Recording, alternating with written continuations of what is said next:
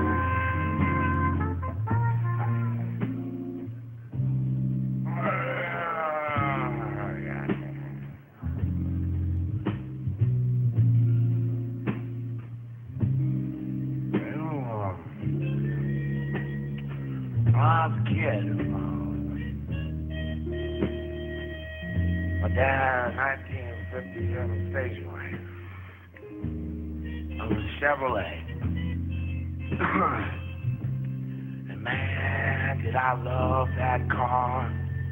Mm. I used to go to the garage at night, turn out all the lights, and roll up instant. I think that's against the law.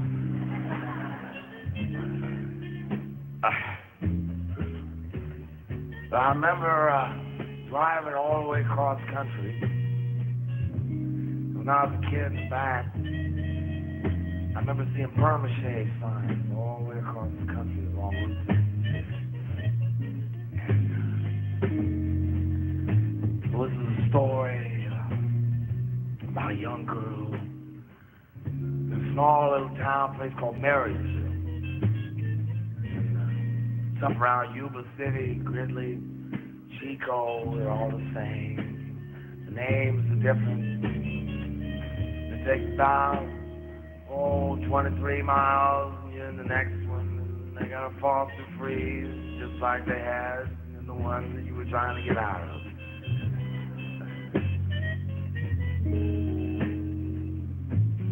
And, uh, you see, there was this licorice tattoo It used to turn a gunmetal blue and was scrawled out across the shoulders of this dying little town.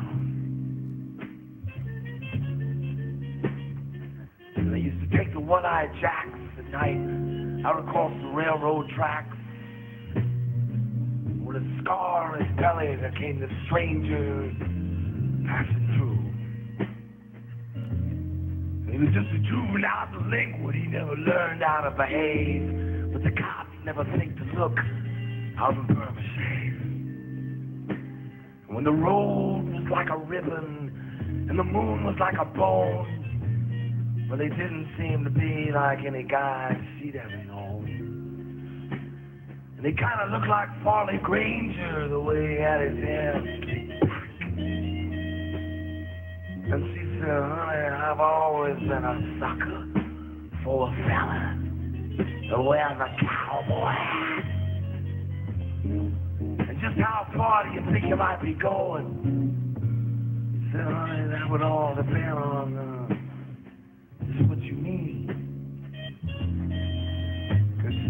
uh, I'm only stopping here 'cause uh, I got to get myself some of this, some of this gasoline. And I guess you say I'm uh, going that way. These rides just as long as it pays. I guess you say I'm on my way to Burma Shave. He said, honey, uh, why don't you put your knees up on the glove compartment just like that? She took out her barrettes, and man, her hair spilled out like root beer. She popped her gum and she arched her back. And she said, Mary Phil, oh no, I'm not for nothing. Just a wide spot in the road. So nice, my heart pounds like thunder. I don't know why I don't explode. If you ask me, buddy, everyone in this stinking town has got one foot in the grave. I'd rather take my chances with you. Take me all the way to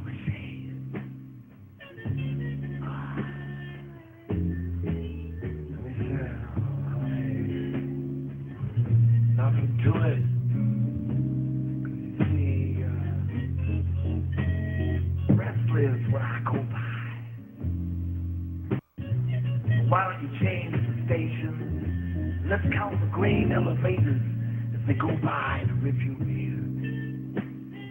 Cause anywhere you point this thing, it's gotta beat the hell out of the sting. Cause every night I go to bed and I lie down next to all my dreams. They die here every morning. Come on, Presley, drill me a hole with a barber pole. I'm jumping my parole just like a fugitive tonight. Let's have another swig of that black velvet. Let's pass that car, man. You brave enough. Cause we can get there just before the sun comes up. It's you and me, baby. Cause this town is driving me crazy. Driving me crazy. I go crazy.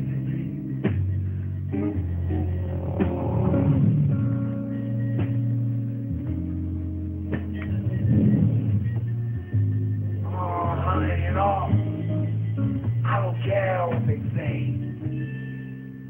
let them talk.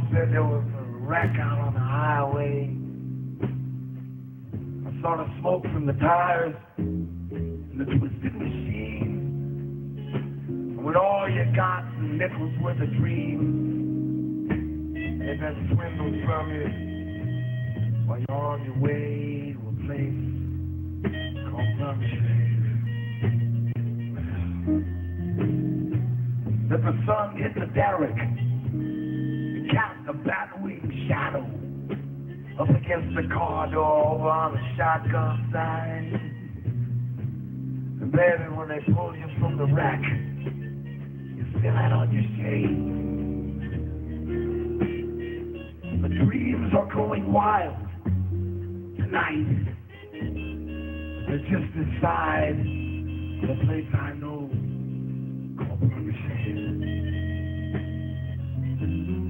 You know, without the bombs to freeze, well, they're closing up now.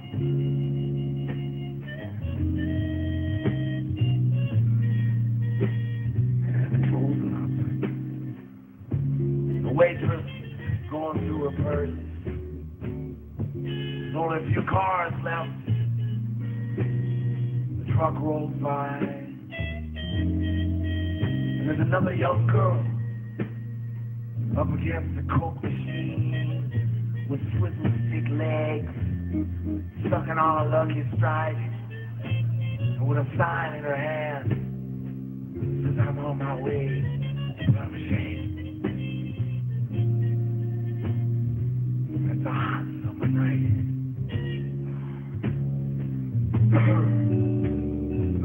jumping. Fish jumping. The cotton, the cotton is high. Your daddy's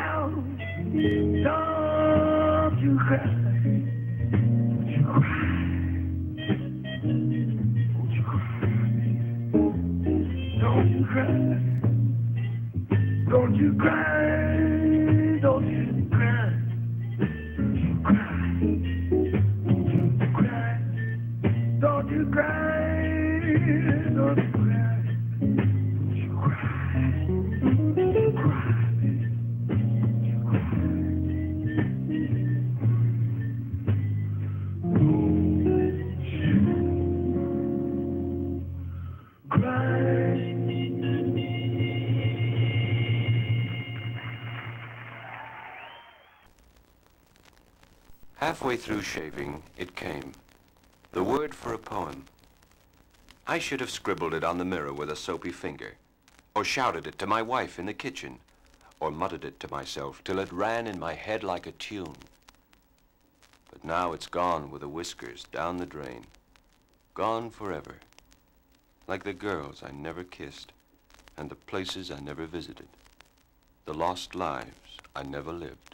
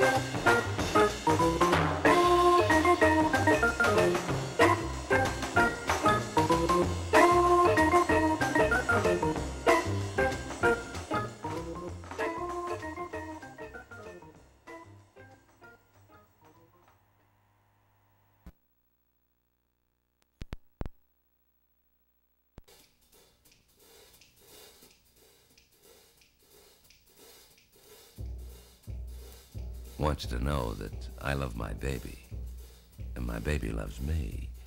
A short time ago, we went out together to a place called Far Out, Upper Limbo. The rhythm was there.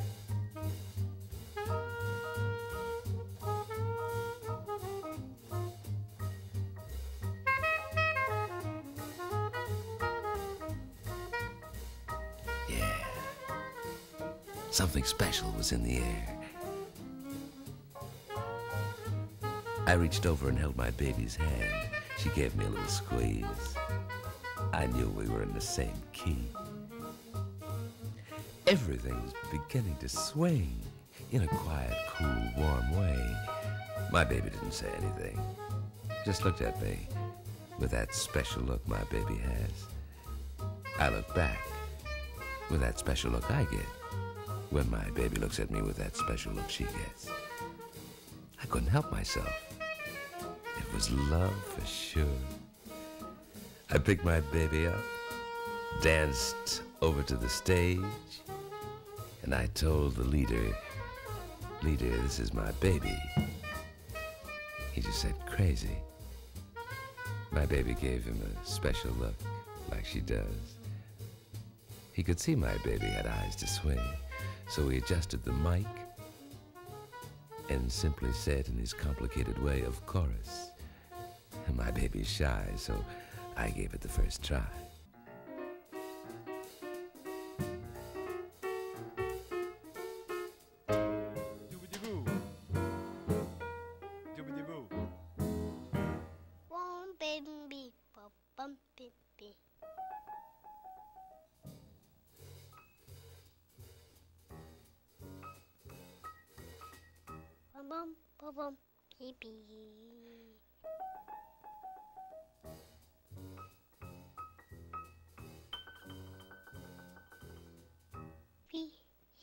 Bo, bo, bo, bo, bo, baby. Waiter, two glasses of warm milk, please.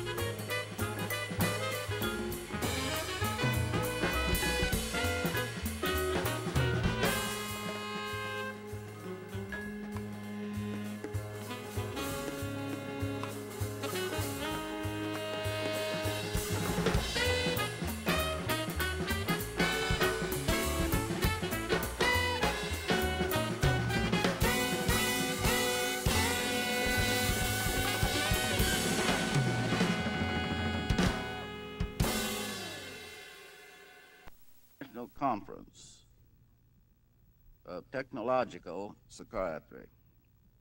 Dr. Fingers Schafer, the lobotomy kid, rises and turns on the conference the cold blue blast of his gaze.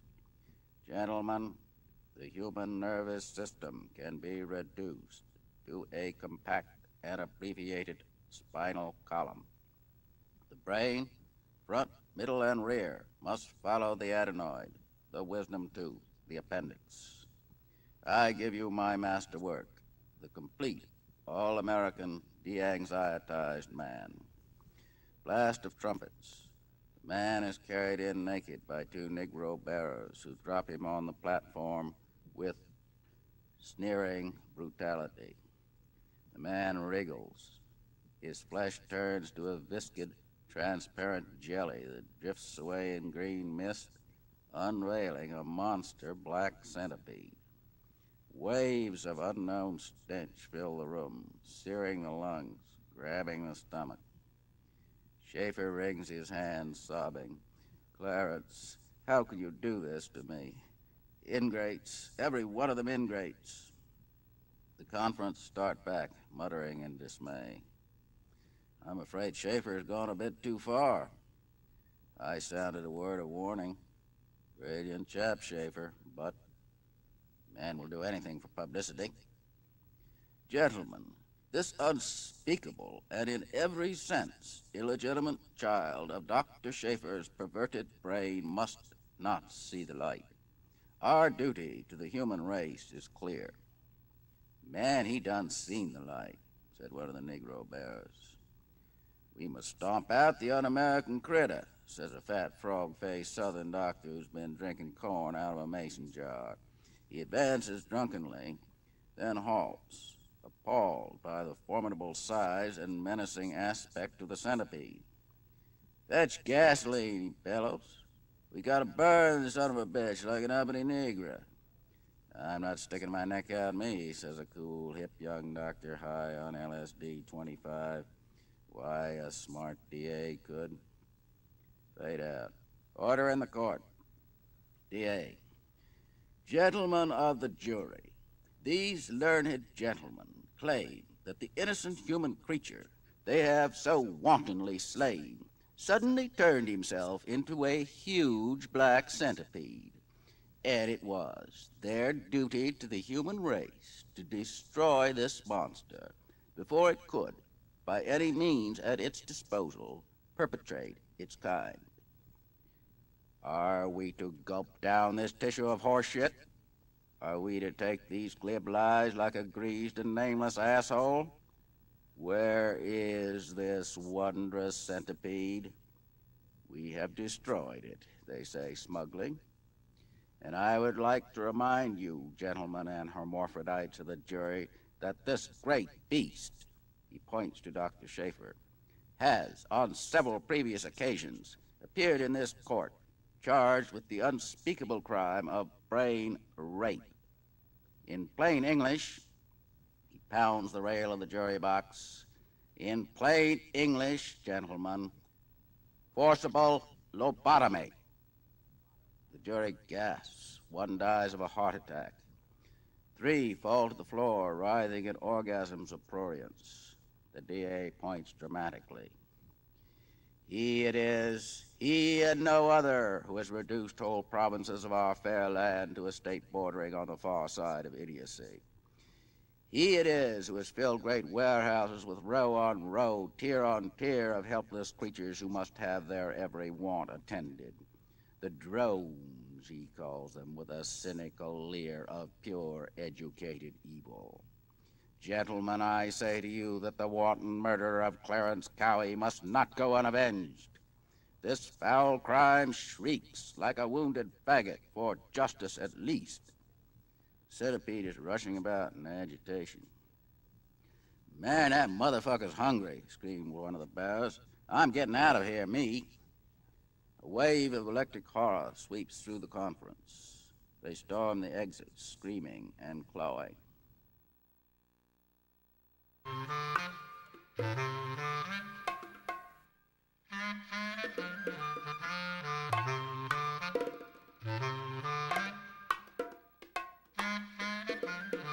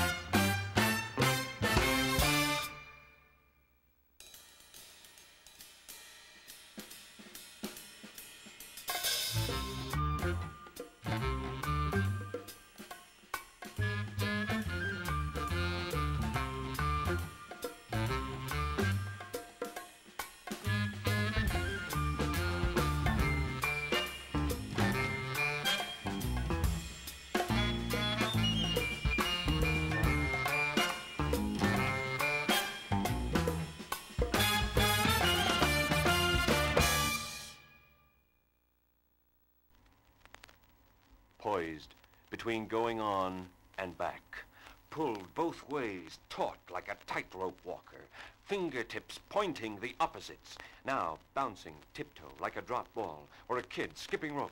Come on, come on, running a scattering of steps sidewise. How he teeters, skitters, tingles, teases, taunts them, hovers like an ecstatic bird. He's only flirting.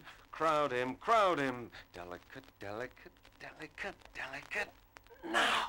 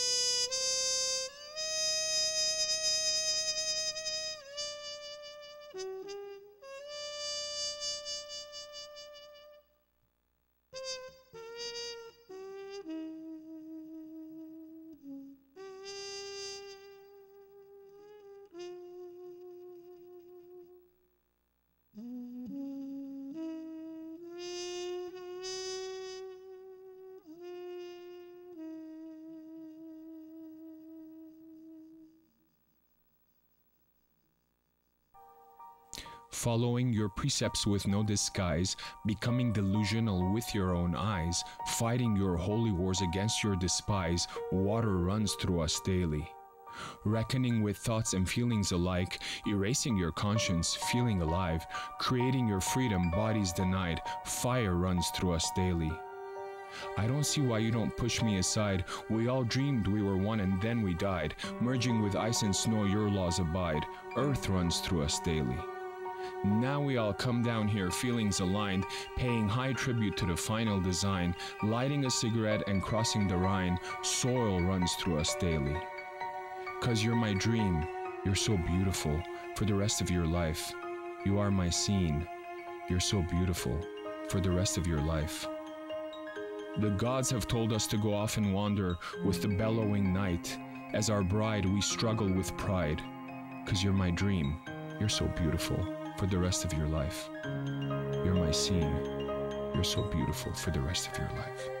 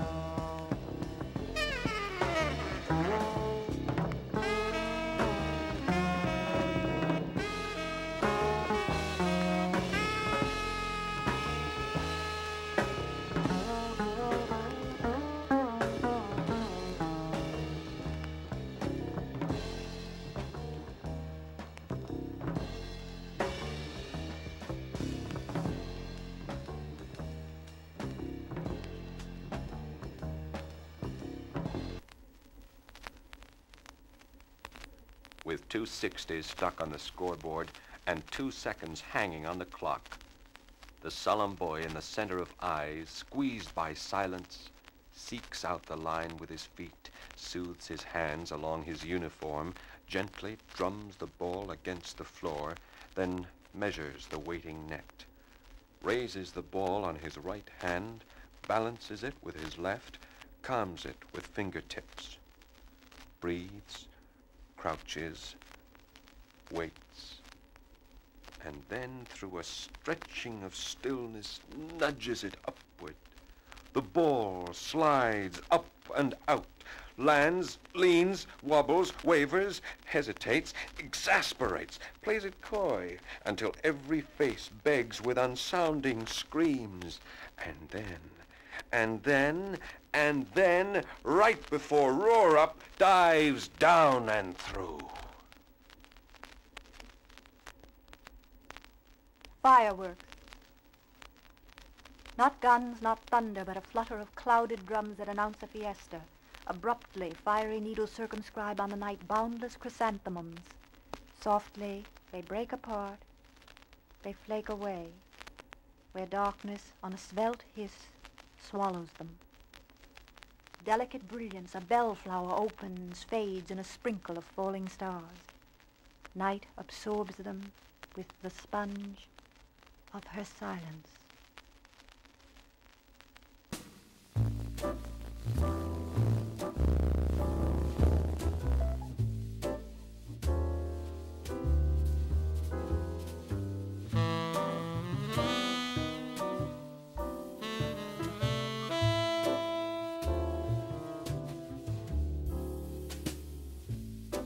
Every weekend while in college, I frequented a little club to listen to jazz.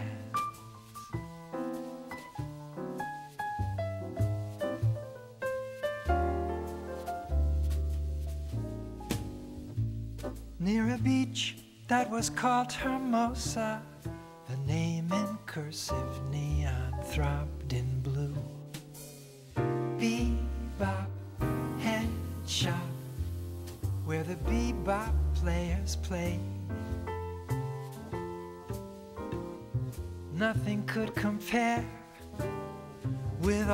crazy things they'd say.